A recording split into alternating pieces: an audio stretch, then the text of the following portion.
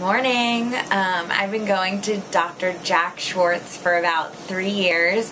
He's phenomenal. My teeth feel wonderful. The service is great. They're always friendly, very gentle but thorough dentists and hygienists.